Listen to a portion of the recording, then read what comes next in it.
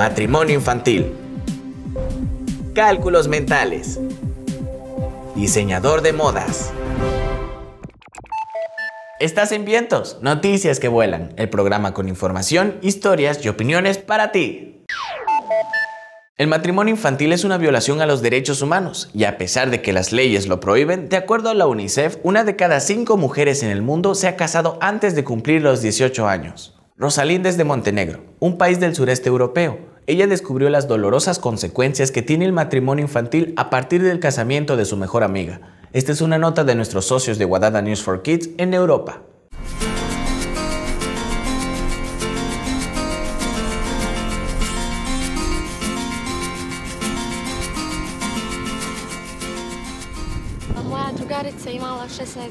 Mi amiga tenía 16 años cuando le obligaron a casarse. Ella no era capaz de muchas cosas ni estaba preparada para el matrimonio porque era menor de edad.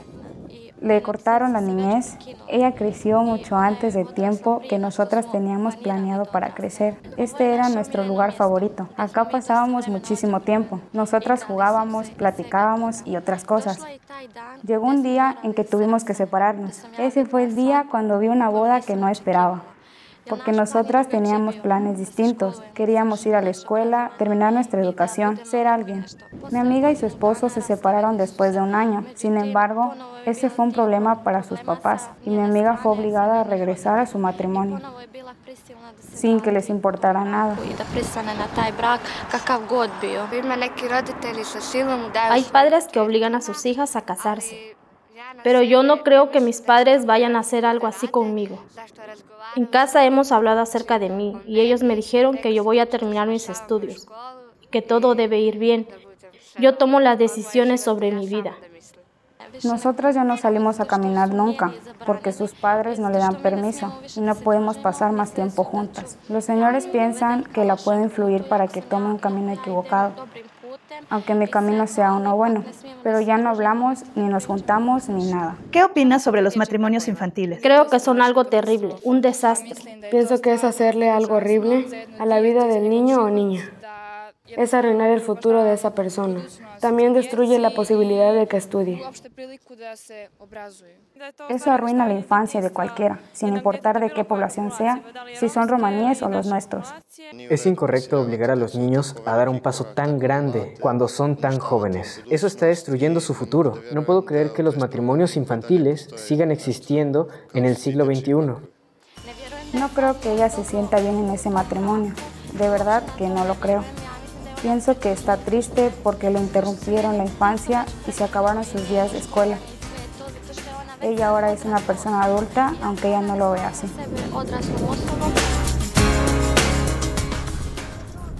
Las tradiciones unen el pasado con el presente y son parte de nuestra cultura e identidad. ¿Por qué te digo esto? Entérate.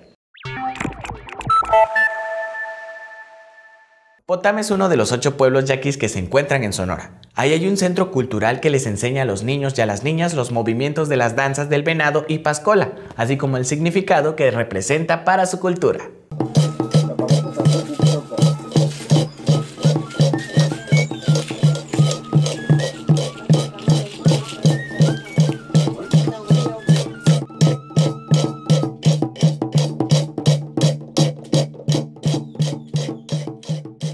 Cultura yaqui el pascola es como el payaso de la fiesta.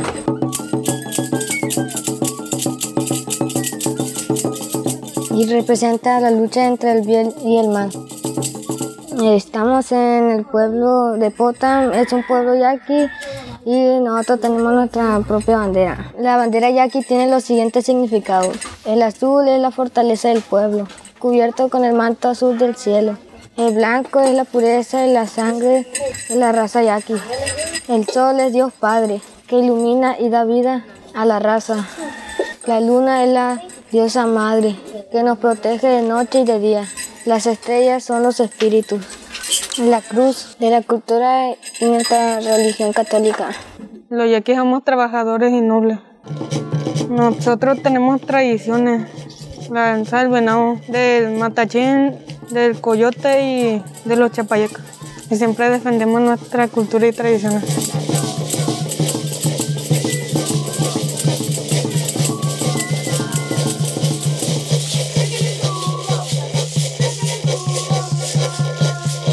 Yo toco la ciruquia, el palo de Brasil, esto raspa este y hace ruido.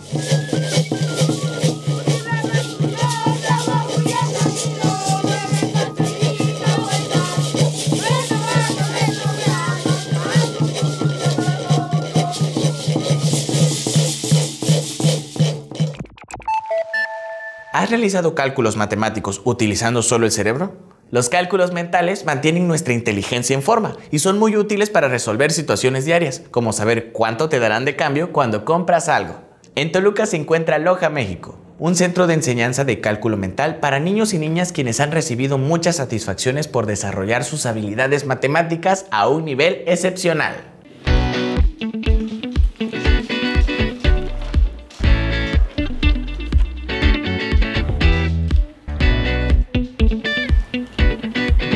Cálculo mental matemático es cuando te dictan oralmente números y tú los resuelves. Imaginamos en nuestra mente subiendo y bajando las fichas como si tuviéramos materialmente el abaco. Antes tenía las calificaciones bajas y me sorprendo de mí mismo y me siento orgulloso porque he subido mis calificaciones. Antes no me gustaban nada de nada. Llegó este curso a mi escuela y vi una clase muestra y entonces yo me sorprendí. Le dije a mi mamá que si me podía meter y me dijo que sí. Desde ese entonces eh, he subido mis calificaciones y me ha gustado jugar con los números. ¿Listos? Empezamos. Operación dos dígitos. 48, 77, 33, 64, 80, 64, 20, 33, 17, 10, ya. 446. Bueno, este es el abaco japonés, Soroban. Esta es la barra de resultados y subiendo y bajando las fichas se suma. Este es el 1, este es el 2, 3, 4. Para hacer el 5 hay un truco. Baja las 4 fichas y subes la ficha superior y es el 5. Luego es el 6, 7, 8, 9. Bajas todas las fichas y el 10 y con las fichas de arriba va sucesivamente 5, 50, 500 y así. Al principio se me hacía difícil porque yo lo hacía mentalmente todo y no tenía casi errores, pero intenté hacer con esto y se me hace un poco más fácil. Me acostumbro mucho haciéndolo mentalmente, moviendo los dedos, subo y bajo los dedos como si estuviera subiendo y bajando las fichas eh, como si lo tuvieran material. Bueno, yo he ido a China, Filipinas, Indonesia y los he ganado en primer lugar todos. He ido a diferentes eh, lugares, televisoras y bueno, recientemente he ido a Miami y a Italia. Fui a un programa de televisión y ahí mostré mis habilidades que tengo de aloja. 12 menos 19 7 ya. 79. 79. Cuando yo me equivoco digo, bueno, pienso que no importa, yo sigo adelante pues, y lo sigo haciendo, no me preocupo que me equivoqué, solamente, como me dice mi maestra Tania, no importa que te equivoques y, tú sigues adelante. Pues yo digo que, que les digan a los niños que cuando oigan matemáticas no se asusten, sino que se diviertan y, y sientan las matemáticas como un juego, subiendo y bajando las fichas como yo lo hago. Y si quieren hacerlo y se proponen, pues claro que lo van a poder hacer. Ok, multiplicación, ¿listos? 902 por 6. 5, 4, 1, 2. Vientos serenos recorren el mundo contando una historia breve que nos muestra cómo los niños y las niñas actuales ya están generando cambios. A y Katie son dos niñas de Inglaterra que en el verano del 2018 comenzaron una campaña en internet exigiéndole a Burger King y a McDonald's que pensaran en el medio ambiente y dejaran de regalar juguetes de plástico en los menús infantiles. Porque, explicaron ellas, esos juguetes solo duran unos minutos en las manos de los niños, antes de que los tiren, dañen a los animales y contaminen el mar. Al principio, muchos pensaron que las dos hermanas tenían la batalla perdida, pero su causa fue apoyada por más de un millón de personas y lograron que pareciera posible. Las dos empresas anunciaron que en el Reino Unido quitarán la oferta de muñequitos.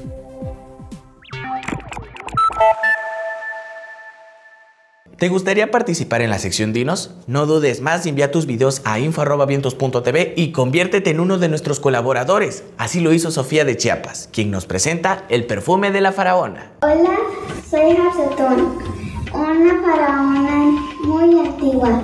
Fui la primera mujer en ser faraona. Mi padre se aseguró de que yo tuviera la mejor educación posible. Me enseñaron desde hacer magia, mm, también conducir carros de guerra, estrategia y cómo utilizar las armas. En batalla para defender mi, reino, fue, fui herida gravemente.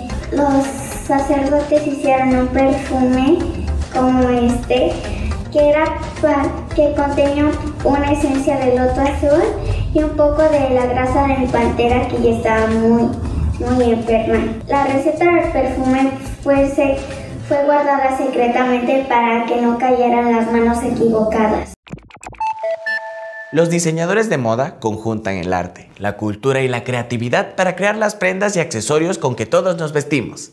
Guillermo vive en Puebla y es diseñador de modas. En su proceso de aprendizaje ha recibido mucho apoyo de su tía, quien le abrió las puertas para que él realizara su primera exposición.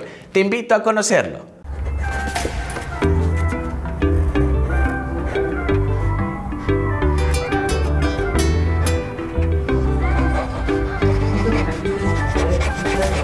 Yo dibujo de, yo creo que desde los cuatro años. Cuando empecé esto, me, me, empezó a ver con, con, los zapatos, la ropa, vestidos y uh, me llama la atención los colores y la creatividad. Todos los vestidos amarillos, rosados, así, falditas, tops o no sé, y así.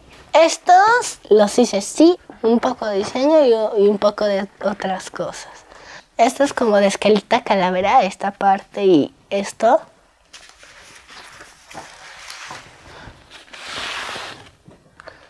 También es la combinación de esta, la parte y el moño.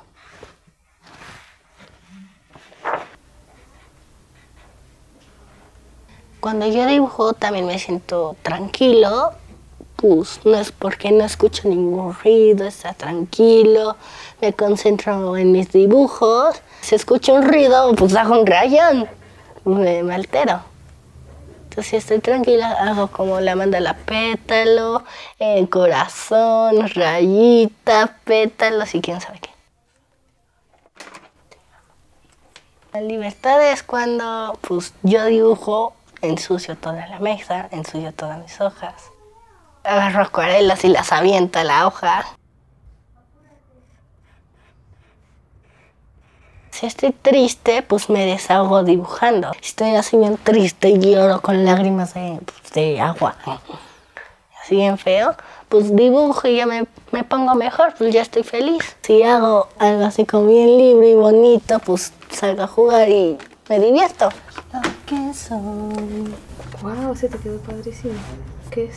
El doodle. Ah, el doodle art. Pero eh, con más cosas. Esta es una pizza, ¿no? Sí. ¿Y esto? Esos son como tubos, eso es como un taco y eso es como pintura.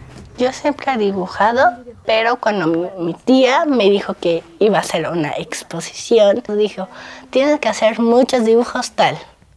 Los, los hacía así de este tamañito y luego ella me enseñó a hacerlos como de este me compré un blog. Entonces, ahí me compré muchas cosas porque yo iba para allá pintando y así. Entonces, yo había una mesita y yo me iba a sentar ahí y ya me la prepararon toda. Y mi única labor era sentarme ahí, esperar a que me ponieran un comentario y solo ver cómo pasaba la gente. Vi sus expresiones, algunos emocionados, sorprendidos y felices una exposición y estuvo muy divertido.